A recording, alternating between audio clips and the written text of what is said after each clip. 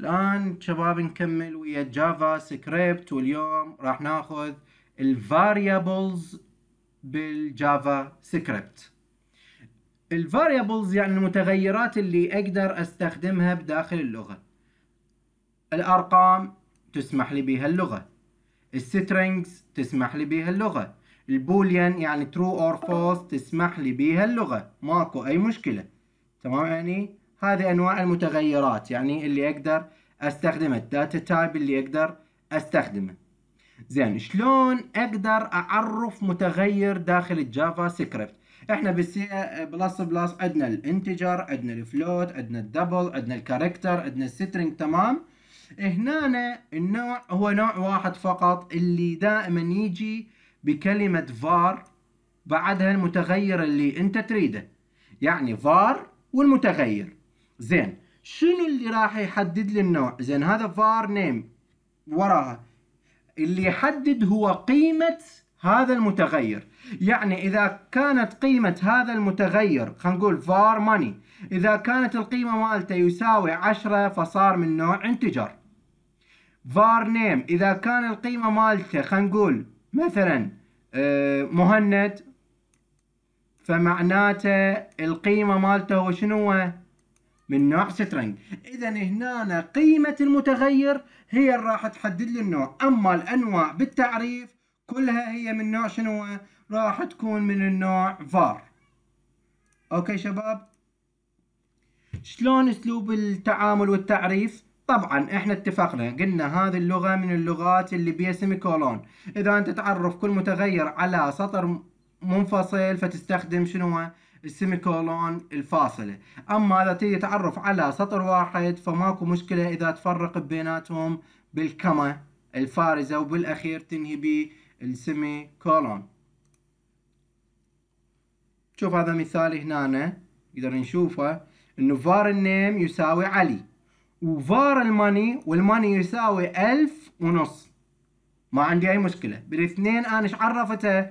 من نوع فار الاثنين عرفته من نوع لكن قيمها هي اللي راح تحدد النوع اللي راح تستخدم به هذا المتغير. والفار هو طبعا من نوع keyword أكيد يعني. طبعا هنا ال JavaScript حالها حال مثل السي بلس بلس المتغيرات عندنا نوعين من عندها. عندنا global variables وعندنا local variables. شنو global variables هذا المتغير اللي يكون عام اللي يستخدم في عموم البرنامج. وعند ال local variables هو ال variables اللي أستخدمه داخل function فقط. يعني إحنا مثلا مرات إحنا في function أستخدم integer x.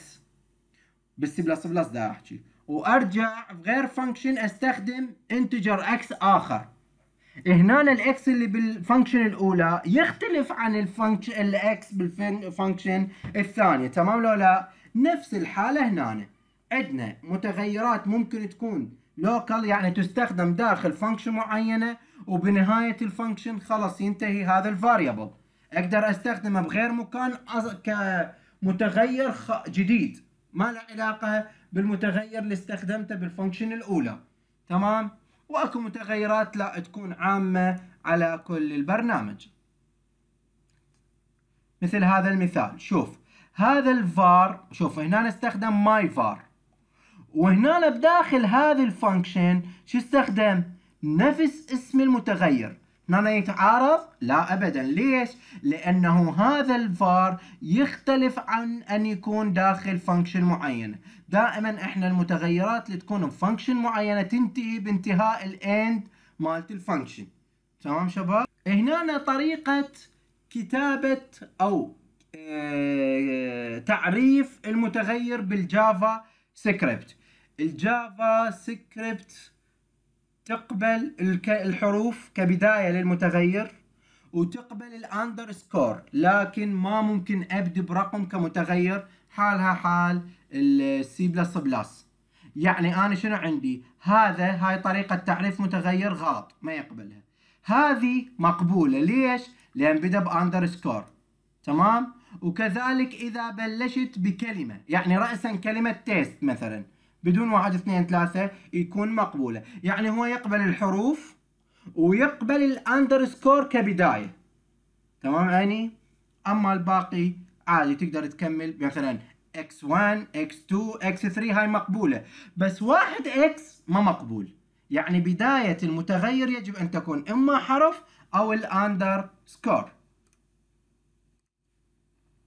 طبعا من حالها بحال بقية لغات البرمجة ال JavaScript كذلك بها آه، كلمات محجوزة بالذاكرة. مثل إيش؟ هذا جدول عندكم هنا لأغلب الكلمات المحجوزة بالذاكرة. مثل abstract boolean break byte case catch char class const continue debugger else enum export integer this long native new. كل هذه الكلمات تكون شنو؟ آه محجوزة آه بالذاكرة. يعني ما تقدر أنت تستخدمه شنو؟ كمتغير.